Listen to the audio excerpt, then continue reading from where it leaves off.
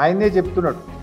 సుందరీకరణ అనే పదమే లేదని సుందరీకరణ అనేది నేను అననే లేదని మాట్లాడుతున్నాడు. నది పునర్జీవం అంటే ఏంటిది? సజీవంగా గలగలా పారేటువంటి విధంగా నదిని తయారు చేయడం నదిని పునర్జీవం చేయడము సుందరీకరణ అంటే ఏంది?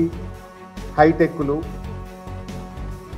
హైరైజ్ బిల్డింగులు అద్దాల మేడలు షాపింగ్ కాంప్లెక్స్లు ఇది సుందరీకరణ కింద వస్తుంది.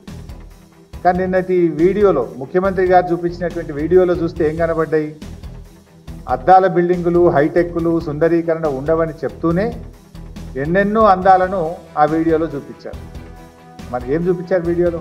ఆయన మాటల్లోనేమో సుందరీకరణ లేదు అన్నాడు. కానీ వీడియో నిండా అంతా సుందరీకరణ హైటెక్ బిల్డింగ్లే కనబడ్డాయి. అంటే ముఖ్యమంత్రి గారి మాట కరెక్టా? ఆ కాంట్రాక్ట్ తీసుకున్న కంపెనీలు ఆ కన్సార్షన్ చూపించిన వీడియో కరెక్టా?